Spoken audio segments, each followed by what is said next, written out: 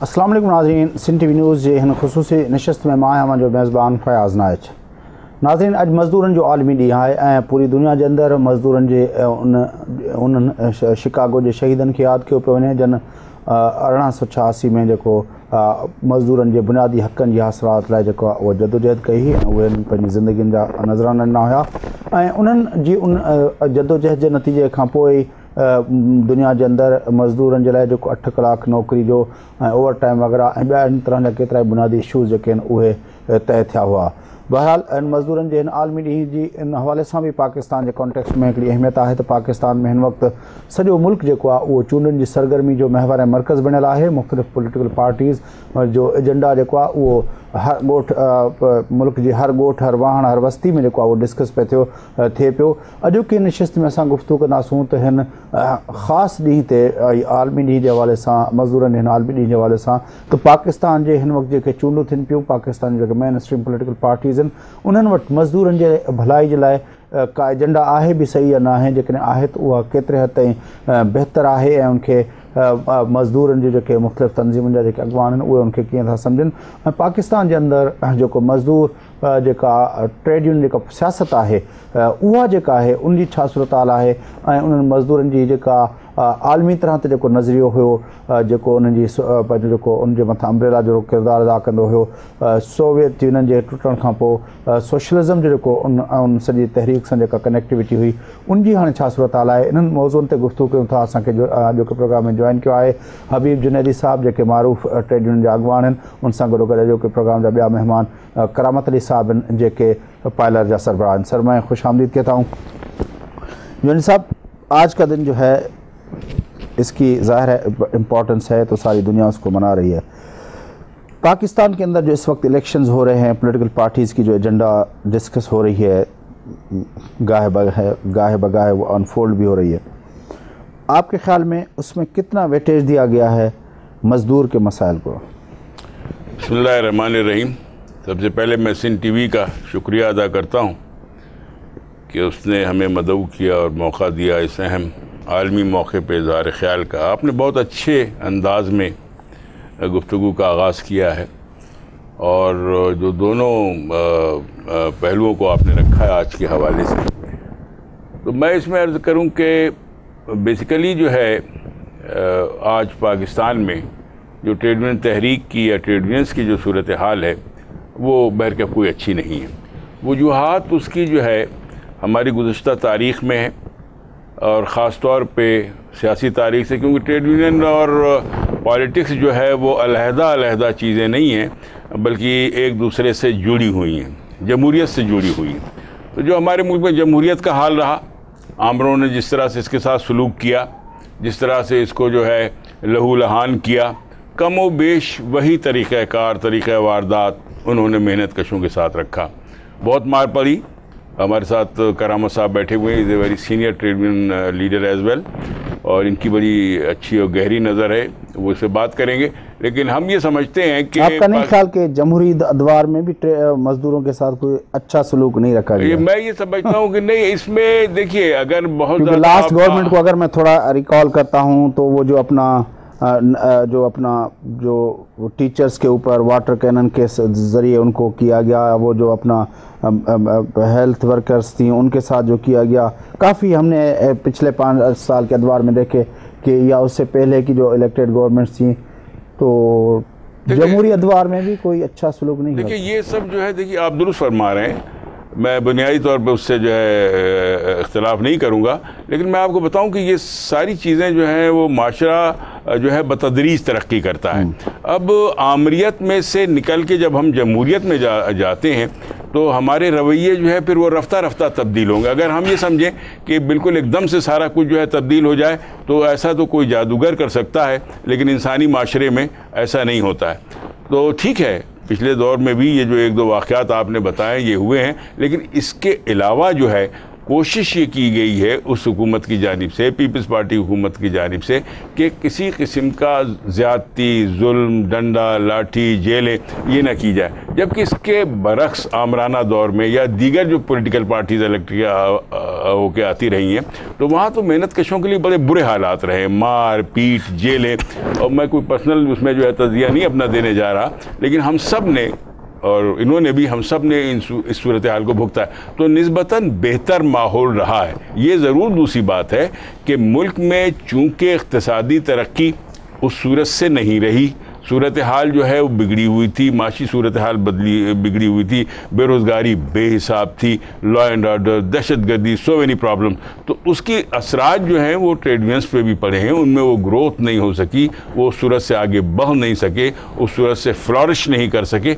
लेकिन ये हम ज़रूर कहेंगे कि सबका हुकूमत ने अपनी जानब से कोई जुल्म सितम रवा नहीं रखा। ऑन दी कंट्रेरी उन्होंने कोशिश की वी मस्ट बी ऑनेस्ट कि जहाँ तक जो है कोई लीगल रिलीफ दिया जा सके, जहाँ तक जो है गुफ्तु को समझा जा सके, जहाँ तक चीज़ों को सार्ट आउट किया जा सके, वो मैं बहुत सारी मिसालें दे सकता हूँ, मैं दूँगा नहीं क्योंकि सर बेसिकली मेरा मौजू ये नहीं बल्कि मौजू ये है कि आज हम आलमी योम मेहनत के ऊपर मेहनत कशों के मुस्तबिल को किस तरह से देखना चाहते हैं? जी, अपना कराम साहब पॉलिटिकल पार्टीज़ जो इस वक्त, क्योंकि मैं आज के इस इस डिबेट को आम तौर पर तो हम करते रहे लेकिन आज जब पूरा मुल्क इलेक्शन के एक माहौल में खड़ा हुआ है, आपके ख्याल में पॉलिटिकल पार्टीज़ के एजेंडा पे ये बात है? जिस तरह जुनेदी साहब कह रहे थे कि पिछली गवर्नमेंट ने उस पर काफ़ी फोकस किया था। देखिए, एक चीज़ तो पहले हमें ये जहन में रखनी चाहिए कि इस मुल्क में उन्नीस सौ अठासी से एक माशी जो सिस्टम है वो यहाँ पर नाफिज किया गया 88 से? 88 में यानी प्राइवेटाइजेशन की बात कर रहे हैं? जी प्राइवेटाइजेशन उसका एक बहुत बड़ा हिस्सा है। हम्म। तो आईएमएफ के साथ उस वक्त की जो निगरान हुकूमत थी उसने वायदा किया इंतबात से तीन दिन पहले। और उस उसमें ये सारी चीज़ें थी कि प्राइवेटाइजेशन होगा हर चीज़ का। इकोनॉमी हम्म। को लिबरलाइज कर दिया जाएगा। ओपन कर दिया जाएगा बैरूनी सरमाए के लिए और ट्रेड लिबरलाइज हो जाएगी।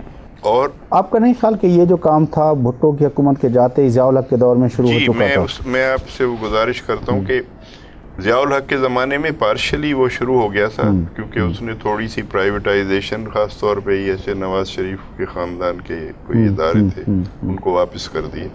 लेकिन पब्लिक सेक्टर डिसमेंटल नहीं हुआ था। एक चीज़ जो जियाउल हक के ज़माने में शुरू हो गई थी जो हर मार्शल लॉ के दौर में होती है कि लेबर कवानीन पर अमल दरामद जो है वो मुअत्तल हो जाता है। और फिर बड़े पैमाने पे ठेकेदारी का सिस्टम जो है रिक्रूटमेंट का वो ज़ियाउल हक के ज़माने में शुरू हुआ। हम्म, हम्म। फैक्ट्रियों के इंस्पेक्शन जो हैं वो बंद किए गए। हम्म। तो लेकिन ये अभी फॉर्मलाइज तरीके से एक इकोनॉमिक पॉलिसी के तौर पे फुल फ्लेज नहीं आया था। तो ये 88 का जब किया गया तो उसमें ये क्लियरली था कि डीरेगुलेशन होना चाहिए मार्केट का जिसका एक हिस्सा ये था कि मज़दूर कवानीन जो हैं जो प्रोटेक्टिव हैं वो मार्केट के रास्ते हम्म। में रुकावट हैं इसलिए उनको चेंज किया जाए या उन पर अमल दरामद बंद कर दिया जाए तो ज़ियाउल हक के ज़माने में जो एक बड़ी चीज़ हुई जैसे जुनेदी साहब कह रहे थे ना एक फ़र्क होता है जमहूरी हुकूमतों में और आमिराना हुकूमतों में एक रवैये का फ़र्क होता हम्म। है तो सब्सटेंस का फ़र्क जो है वो तो उस वक्त आएगा जब आप पूरे माशी निज़ाम को बदल देंगे हम्म। वो नहीं बदला है वही निज़ाम जो बेनज़ीर की जो पहली हुकूमत बनी उनको ये बता दिया गया कि आपको ये इन पर अमल दरामद करना है उसी के साथ ये भी था कि आपकी खारजा पॉलिसी जो है वो साहबजादा यकूब बनाएँगे। और आपकी जो फाइनेंस है वो एक एडवाइज़र उनको दे दिया गया जिससे ज़िंदगी में वो पहले कभी नहीं मिली थी। हम्म। तो पहली काबीना की मीटिंग में कहा कि उनको ज़रा खड़े हो जाएँ। हम्म। हमारा तारुफ हो जाए। तो ये सारा जब आया तो बेनज़ीर की पहली गवर्नमेंट में प्राइवेटाइजेशन उस तरह से नहीं हुए। हम्म। और मेरी ज़ाती राय यह है कि उनकी गवर्नमेंट को डिसमिस करने की एक वजह यह भी थी कि उन्होंने उस तमाम जो पैकेज था उस पर सही तरह से अमल नहीं किया। हम्म। और नतीजा ये हुआ कि जब नवाज़ शरीफ की गवर्नमेंट आई तो उन्होंने होल सेल जो है वो प्राइवेटाइजेशन किया। तो जो मज़बूत यूनियनें थी वो पब्लिक सेक्टर में होती थी। सरकारी इदारों में पहले ही यूनियन ख़त्म कर दी गई या मज़बूत यूनियन स्टेट के सेक्टर में थी। ये सारा उसका इम्पैक्ट जो आया कि लेबर लॉज डाइल्यूट किए ये जो कॉन्ट्रैक्ट सिस्टम है ये तमाम बुनियादी लेबर राइट्स के ख़िलाफ़ है। लेकिन इसको फ़रोग होता गया और आने वाली हर हुकूमत जो थी वो इसी पॉलिसी के साथ चली जिसके नतीजे में आप अगर थोड़े से अदाद शुमार से देखें कि जब भुट्टो साहब की हुकूमत का तख्ता उल्टा गया तो पाकिस्तान में कोई एक मिलियन से ज़्यादा वर्कर्स थे जो यूनियनों के मेंबर थे। जब ज़ियाउल हक की का ख़ात्मा हुआ तो उस वक्त उसमें 40 फ़ीसद कमी हुई थी। ज़ियाउल हक के जो साल थे 40 फ़ीसद कमी हुई यूनियनों की मेंबरशिप में। और फिर मुसलसल वो कमी होती होती आई है। ये जो आप आज जो है हमारे पास इस मुल्क में दो फ़ीसद से कम वर्कर यूनियनों में मुनज़म है। जिन साहब ये जो अपना करामत साहब ने बड़ी इम्पोर्टेंट बात की है मैं चाहूँगा कि उसको थोड़ा आ, आप उस पर राय दें कि जब तक किसी इकतसादी निज़ाम को आप तब्दील नहीं करते हैं जो तो मज़दूर की भलाई का तस्वर जो है वो नारे की सूरत में तो रख सकते हैं बात की सूरत में तो रख सकते हैं लेकिन प्रैक्टिकली आपको अगर मज़दूर की भलाई की बात करनी है तो फिर वो आपको पूरा इकतसादी सिस्टम चेंज करना होगा। और उस हवाले से देखा जाए तो इस वक्त तो पॉलिटिकल पार्टीज़ के एजेंडाज में इकतसादी सिस्टम को तब्दील करने के हवाले से कोई चीज़ तो मुझे नज़र नहीं आ रही। वो पीपल्स पार्टी की हो या जमात इस्लामी की हो या अपना नून लीग की हो या इमरान खान की हो इकोनॉमिक सिस्टम तो वही सबके पास एक ही वो अपना मॉडल है जो आईएमएफ मॉडल जिसको कह लें या ग्लोबलाइज मॉडल कह लें, जो भी उसका नाम आप ले लें। ये आप दुरुस्त कहते हैं। देखिए, यहाँ पर जो है कहते हैं कि जो मैं समझता हूँ कि जो निज़ाम हुकूमत राइज है तो निज़ाम हुकूमत भी तकरीबन वही होता है जो कि इकतसादी हमत अमली होती है। ये दोनों एक दूसरे के साथ जो है वो नत्थी होते हैं। तो यहाँ कोई इनकलाब का मसला तो है नहीं। यहाँ इंतबी तो सियासत है। नहीं देखिए भुट्टो दौर था वहाँ पे इकोनॉमिक सिस्टम दूसरा था पॉलिटिकल सिस्टम तो यही था जो आज चल रहा है। देखिए पॉलिटिकल सिस्टम यहाँ था लेकिन वो उन्होंने उसको तब्दील करने की कोशिश की और उस उन्होंने उसको इकनॉमिक्स से जो है उठाया इकतसादियात से उठाया। उन्होंने नेशनलाइजेशन किए उन्होंने सारे बैंक्स टेक ओवर किए उन्होंने फौलाद को टेक ओवर किया उन्होंने स्टील को टेक ओवर किया जबकि उसके बाद का जो दौर आया है वो सारा डीनेशनलाइजेशन का जो है कहते हैं तो- दौर तो आया ठीक है ना तो तो। मतलब ये कि वो तो जा रहे थे एक रास्ते की तरफ़। हम ये समझते हैं कि वो एक रास्ते की तरफ़ जा रहे इस पोलिटिकल सिस्टम के अंदर भुट्टो ने इकोनॉमिक अपना एजेंडा अपना लाए इम्प्लीमेंट किया बिल्कुल बिल्कुल बिल्कुल। उसी पोलिटिकल सिस्टम के अंदर अब उसकी पार्टी या पाकिस्तान की किसी पार्टी के पास कोई एक डिफरेंट किस्म का कोई इकतसादी निज़ाम नहीं है। देखिए बात यह है कि उस वक्त के हालात और आज के आलमी हालात में भी बड़ा फ़र्क है बहुत फ़र्क है। आपने खुद ही फरमाया था अपनी गुफ्तु के आगाज़ में कि सोवियत यूनियन के जो है कहते कि टूटने के बाद या उसको जो भी कहा जाए, और सर जंग के ख़ात्मे के बाद। अब दुनिया तकरीबन जो है वो एक ही कहते हैं कि निज़ाम के अंदर जो है जकड़ी जा चुकी है मुकम्मल तौर पर, जिसे फ्री मार्केट इकानमी कहते हैं, और जिसे कहते हैं ग्लोबलाइजेशन भी अभी आपने कहा, ये सारी चीज़ें वो है। हम यहाँ तक देखते हैं कि चाइना में जो सूरत हाल जो है तब्दील हुई है, उस पर भी आप जो है नज़र रखें, और जो दो चार ममालिक रह गए हैं, वो जिस प्रेशर में हैं, वो अपनी जगह के ऊपर है। तो मवाजना नहीं किया जा सकता है सिक्सटीज़ और सेवेंटीज़ की पॉलिटिक्स का। आज जो है कि, आज की जो है कि, इस दहाई की पॉलिटिक्स। तब एक मतलब ये कि हमारी ख्वाहिश हो ना हो, हम चाहते हो ना हो, लेकिन ये कड़वी गोली है जो निगलनी पड़ेगी उनको भी कि जो इस इकतसादी या सियासी निज़ाम में यकीन नहीं रखते। करामत साहब, वाकई दुनिया के इस वक्त जो अपना है, उसमें यही एक इकतसादी निज़ाम के सिवा और कोई ऑप्शन नहीं है। नहीं जी मैं तो बिल्कुल ये नहीं समझता हूँ इसलिए ऑप्शंस का मैंने नहीं कहा ऑप्शंस नहीं कहा। मैंने कहा कि ये ये कड़वी गोली है मैंने ये कहा। कड़वी गोली हर एक को निगलनी पड़ेगी मतलब ये आपके पास you don't have the option सही इस लिहाज से दुरुस्त ठीक है ना? हमें अपने मुल्क के सूरत हाल को देखने की ज़रूरत है। अब पाकिस्तान शायद दुनिया का वाद मुल्क है जहाँ कोई सीरियस लैंड रिफॉर्म्स नहीं हुई और कोई मुझे मुल्क नज़र नहीं आता है। तो लैंड रिफॉर्म्स अगर आप नहीं करते हैं, क्योंकि मज़दूरों के हकूक़ से आम तौर पे हम सोचते हैं, सनत में काम करने वाला मज़दूर या खदमात के शोबे में, हम उसमें जो है वो ज़रात में काम करने वाले को शामिल नहीं समझते। हालाँकि जब तक वहाँ जो हालात हैं, वो कानून के दायरे में नहीं आए तो बड़ी वजह ये कि सनतों में क्यों नहीं कानून पर अमल दरामद होता, जबकि कवानीन मौजूद हैं। तो उसकी लिंक उससे है। कि अगर आप गुलामों की तरह से काम कराते हैं लोगों से ज़रात के शोबे में ज़्यादातर लोग बेज़मीन हैं और जो बड़ी ज़मीनों वाले हैं उनका सियासी समाजी और माशी ताकत के ऊपर उनका कब्ज़ा है। तो फिर शहरी जो मज़दूर है या सनती या तजारती शोबे में उसके हकूक़ का यही हाल होगा जो यहाँ पर है। क्योंकि और भी मुल्क हैं जहाँ सरमाया दराना निज़ाम है और बाज़ मुल्क हैं जहाँ आई एम एफ़ की कंडीशनैलिटी भी है, लेकिन वहाँ जो मज़दूर हकूक़ हैं वो भी हासिल हैं। तो दो चीज़ों पर ये डिपेंड करता है कि क्या जो लोग सियासत में जिनका एक गालिब किरदार है, वो मज़दूरों के हकूक़ को तस्लीम ख़ुद करते हैं या नहीं करते हैं, और वो कुछ तब्दीलियाँ करने को तैयार हैं या नहीं। हमारे यहाँ बहुत बुनियादी बात यह है कि पार्लियामेंट्स में और सूबाई असम्बलियों में सेनेट में जो लोग इस वक्त जा रहे हैं वो प्रीडोमिनेंटली वो फ्यूडल लोग हैं। फ्यूडल लोग। तो वो अपने दायरे असर में कोई तब्दीली नहीं चाहते इसलिए वो सनत और जो है वो खिदमत के शोबों में भी कवानीन पर अमल दरामद नहीं कर अब ये जो जुनेद साहब बात तीसरी बात हाँ। ये कि जो रियासत है उसकी नोयत को देखें हम्म। एक जमहूरी रियासत होती है तो जमहूरी रियासत सबसे पहले आइन की पासदारी खुद करती है हम्म। एक आमराना रियासत होती है जो आइन की पामाली के ऊपर जो है वो बेस करती है अपने आप को हमारी रियासत ने उसके जितने मुलाजिम हैं उन सब का अंजुमन साजी का हक छीना हुआ है।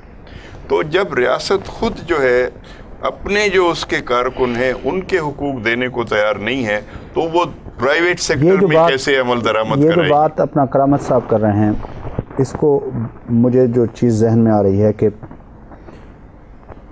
जो लोग पार्लियामेंट के अंदर जाते हैं रिप्रेजेंटेटिव्स की बात जो बात कर रहे हैं मुझे याद आ रहा है कि हिंदुस्तान एक बहुत बड़ा मुल्क है, उसके जो मुख्तलिफ़ स्टेट्स हैं। वहाँ पे केरला और बंगाल में जहाँ पे कम्युनिस्ट गवर्नमेंट्स आई हैं तो वहाँ पे ज्योति बासु और ये अपना नबूदरी पद वगैरह ने वहाँ पे जो आके लैंड रिफॉर्म्स और इस तरह की जो अपना वो की तो ये तो है कि उसी पॉलिटिकल सिस्टम के अंदर अगर कुछ डिफरेंट माइंडसेट के डिफरेंट अपना नज़रिए के साथ जुड़ी हुई पॉलिटिकल पार्टीज़ आती हैं तो वो एक उसमें कुछ तो बहरहाल लाती हैं। आपका नहीं ख्याल कि उसका बहुत बड़ा इम्पेक्ट है पॉलिटिकल पार्टीज़ के एजेंडा जब उस तरह के लोग अब वही एक तबका है जो पीपल्स पार्टी भी उसको टिकट देती है नून लीग भी उसको टिकट देती है तहरीक इंसाफ भी उसको टिकट दे जमात इस्लामी भी उसको टिकट दे तो वो तो फिर इसी तरह के अपना सिस्टम लाएँगे।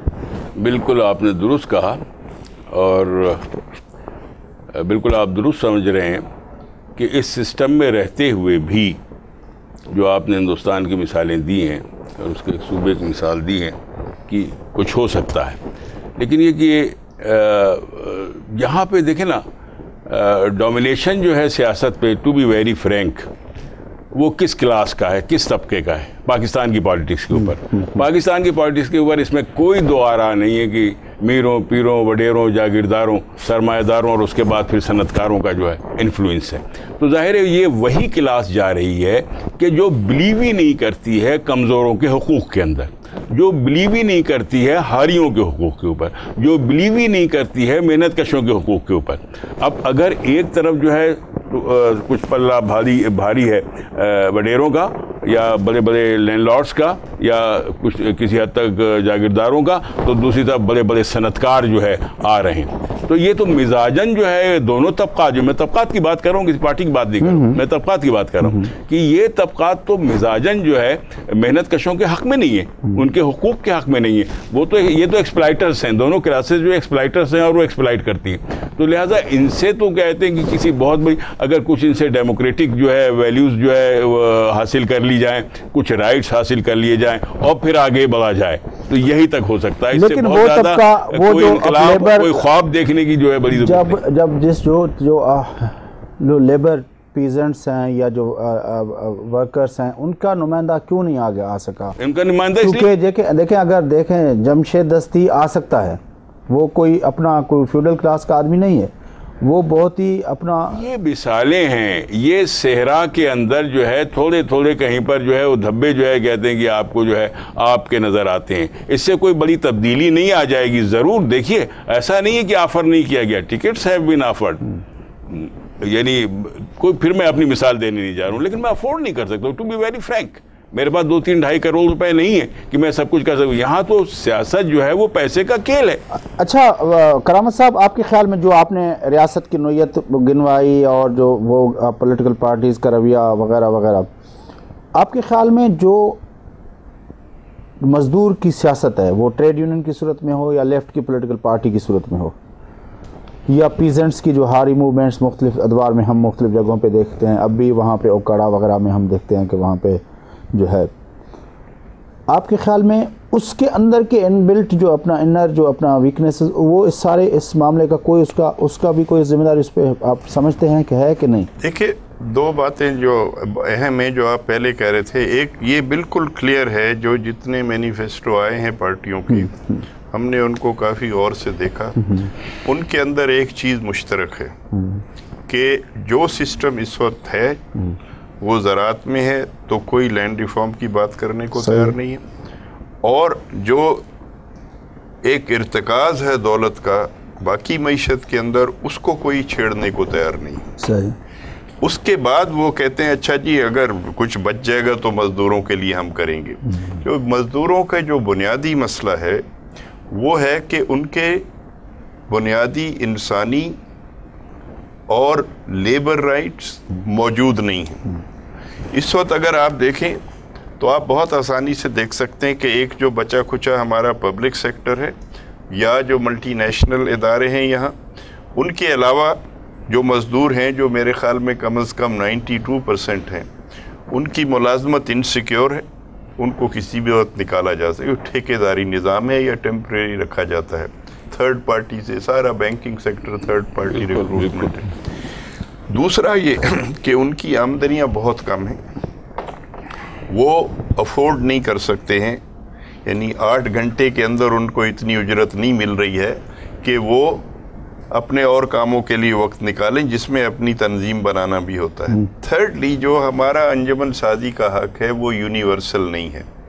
वो मशरूत है बेशुमार चीज़। मसलन पंजाब की जो असम्बली ने पास किया है इंडस्ट्रियल रिलेशन ऑर्डिनेंस उसमें तो क्लियरली लिखा है कि जहाँ पचास वर्कर काम नहीं करते हैं उन पर वो लागू ही नहीं होगा।